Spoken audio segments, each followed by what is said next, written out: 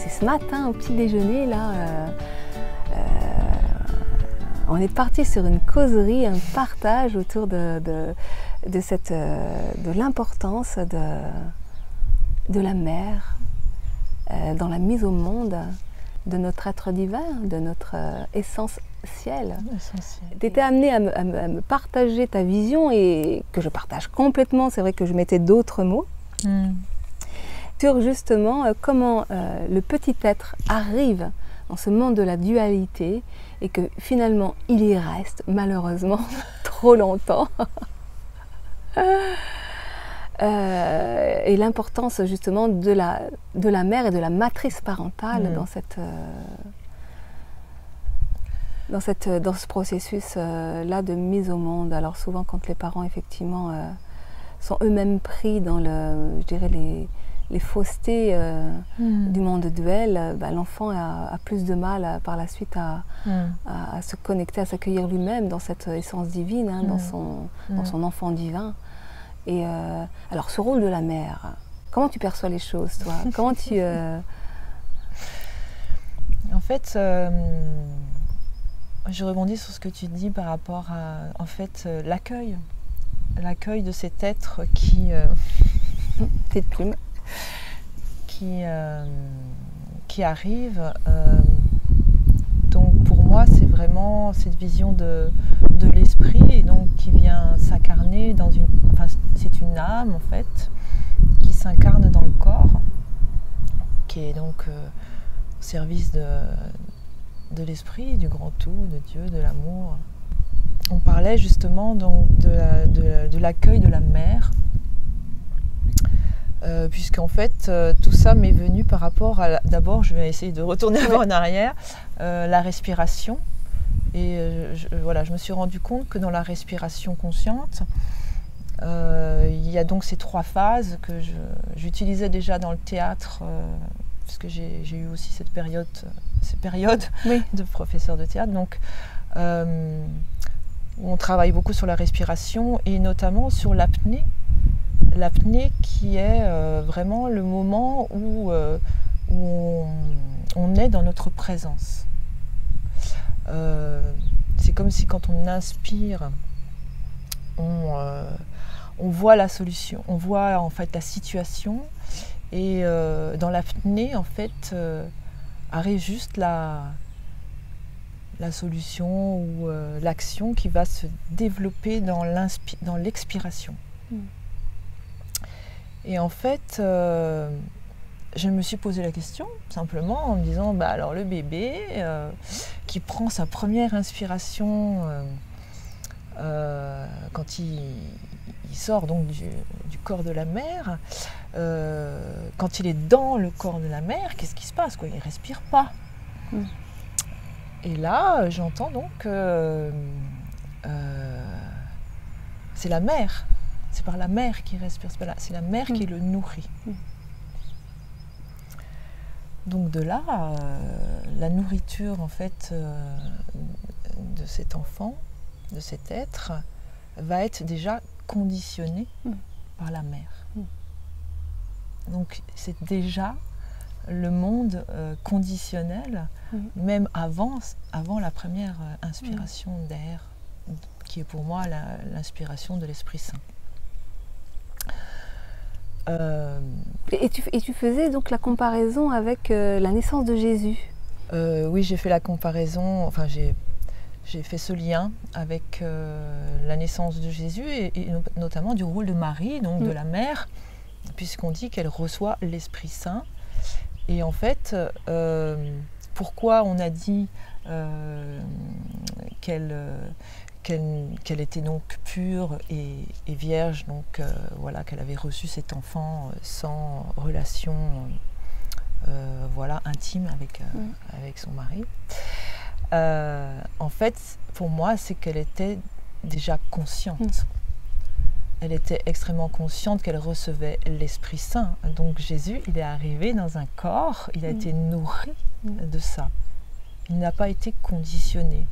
L'ange est venu lui dire, donc la conscience, mm. l'esprit est venu parler à sa conscience, mm. à son âme, et lui a dit, ben voilà, là tu vas recevoir un Mm. être Mm. à l'Esprit Saint. Mm. Et c'est absolument nécessaire qu'il reste comme ça pour qu'il puisse délivrer son message au monde quelque Mm. part. C'est-à-dire que Marie, en tant que mère, Ouais. euh, puisqu'elle l'a porté dans son ventre, Ouais, euh, a déjà la conscience que cet enfant ne lui appartient pas. tout à fait. Et, et, et- et que, euh, et que du coup, euh, elle, elle est consciente de, de- de- de qui il est, de ça. cette dimension divine, et que du coup, déjà dans son ventre, Ouais, elle ne cultive pas l'attachement, la possession, ouais. Euh, ce qui n'existe pas dans le monde de la dualité. En général, euh, Ouais. quand une mère, euh, je veux dire, je suis mère de trois enfants, tu es mère aussi, Oui. et que euh, étant soi-même dans l'inconscience, parce qu'à Ouais. l'époque, ben, j'étais pas dans la conscience Ouais. dans laquelle je suis aujourd'hui, eh bien effectivement, cet enfant, il est à moi. C'est ça. hein. C'est, et c'est comment cet enfant qui est à moi, je vais déjà lui donner naissance, Mhm. et comment je, je vais plus ou moins, selon mon état de conscience, Mm. couper le cordon Mm. ou pas. Mm. Et c'est, la grosse problématique Ouais. de notre monde aujourd'hui. Mm. Et euh, parce qu'il y a le rôle de la mère, effectivement, parce que ça se passe déjà dans le ventre de la mère, Mm. cette non-conscience. Mm. Et puis le rôle du père qui fait partie de cette matrice parentale. Exactement.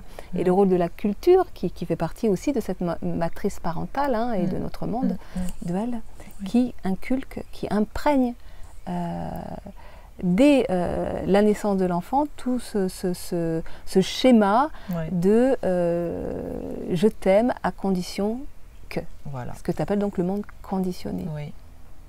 Enfin, ce, que, ce que nous appelons, Oui, ce parce que que nous c'est- appelons, parce que je pense que ça y est, c'est plus un secret. Mm. c'est plus un secret. Euh, Oui, oui, c'est ça. Je pense qu'aussi, de mon point de vue, c'est vraiment que cette histoire euh, a conditionné le- les rôles de, de la femme et de l'homme, donc du féminin, du masculin. Ça a complètement transformé euh, euh, les codes, euh, les codes parentaux, qui étaient vraiment d'accueillir cet enfant et de l'accompagner vers ce qu'il est vraiment. Mm. C'est-à-dire cet être vraiment merveilleux, extraordinaire, avec tous ses talents, comme tu en Mm, parles mm, si bien. Voilà.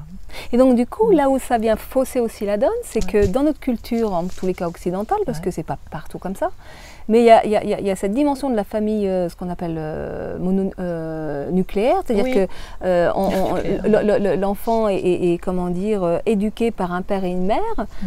alors que pour qu'il soit véritablement accueilli dans sa dimension divine et qu'il ne cultive pas cette notion de possession, d'attachement, de, de, de lien ou de voire même de ligotement, il s'agirait de qu'il soit élevé comme dans certaines euh, Tribus. traditions, tribus, Ouais, etc., ouais, tout à qu'il fait. soit élevé par le collectif, c'est-à-dire que l'enfant n'appartient à personne. Exactement.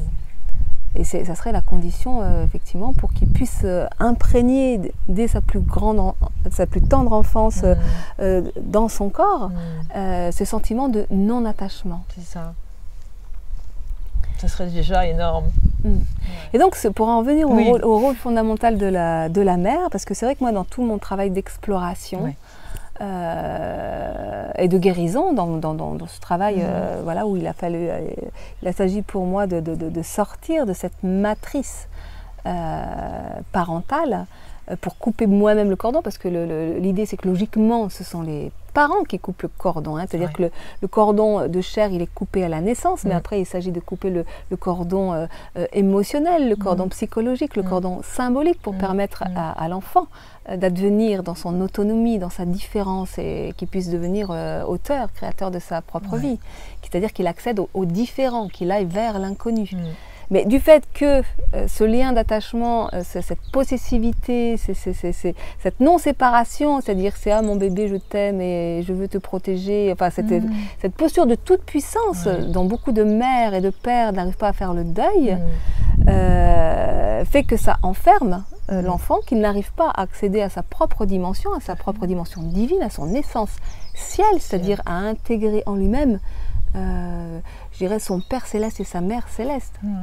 Et que, euh, et que bah, quand les parents ne coupent pas ce cordon, bah, finalement, bah, c'est à nous, enfants Mm. ou ex-enfants, Mm. euh, de le couper. Et puis parfois, euh, il faut y aller à la hache hein, pour arriver. Et que, Ouais. et, que, et que ça demande en fait une transformation totale Mm. des modèles, des codes sur lesquels euh, on vit, de l'éducation. Alors il y a de plus en plus d'écoles hein, Mm. euh, et, de, et de- je dirais de, de propositions euh, Oui. éducatives et non pas d'élevage. Parce que que- quelque part, c'est vrai que le, le, le terme que tu emploies, ça, ça fait, euh, c'est comme si, ouais, quand on parle de on est des moutons et. Ah bah voilà Mais justement, voilà, c'est se rendre compte que le mot est lié à quelque chose de conditionné, de passé, donc vibratoirement, Mm. Il est. Mm. Et de- de de- de- d'avoir conscience que, oups, là j'ai dit un mot qui n'a rien à voir avec ma nouvelle vibration, c'est c'est génial de pouvoir le voir, de le rectifier et, et d'introduire la nouvelle vibration. Mm. Ça c'est vachement important, euh, Mm. je pense, à, à l'heure actuelle, euh, de faire euh, vraiment son possible euh, pour euh, introduire cette nouvelle vibration. Enfin, cette nouvelle, elle a toujours été là, mais voilà, de la conscientiser Mm. euh, et de l'incarner vraiment en soi. Et justement, non seulement le- l'enfant arrive dans ce monde conditionné et va avoir du mal donc à s'en détacher, mais en plus, ça retient aussi la mère et le père et Mm. tout, même tous les acteurs Mm, qui sont mm, autour dans cette matrice conditionnelle. Donc en fait, c'est comme si voilà, ça tourne en rond. ça tourne en rond là-dedans et euh, effectivement, euh, euh, la nouvelle conscience, ça serait d'aller vraiment vers, vers un, un- dès la naissance, de, de rentrer dans sa connaissance, de revisiter tout ça et, euh, et de voir comment accueillir et accompagner au mieux euh, ces nouveaux êtres et en même temps soi-même euh, bah, évoluer soi-même, changer sa Mm. conscience ou retrouver sa conscience. Mm.